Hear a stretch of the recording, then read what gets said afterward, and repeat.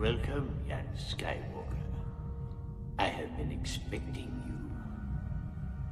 you. You no longer need those.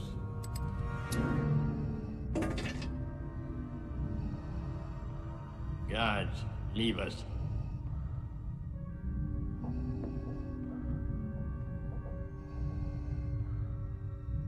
I'm looking forward to completing your training. In time, you will call Master. You're gravely mistaken. You won't convert me as you did my father. Oh no, my young Jedi. You will find that it is you who are mistaken. About a great many things.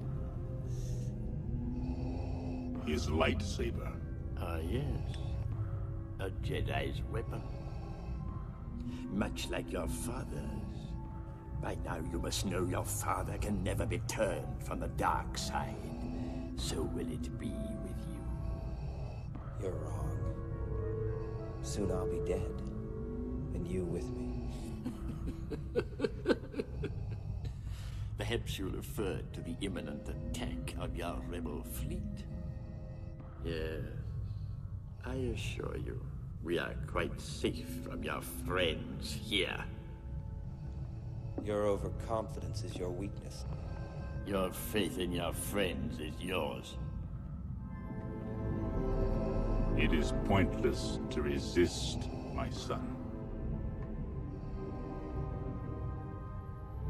Everything that has transpired has done so according to my design.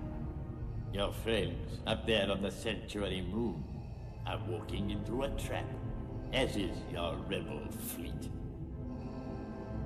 It was I who allowed the Alliance to know the location of the shield generator. It is quite safe from your pitiful little band.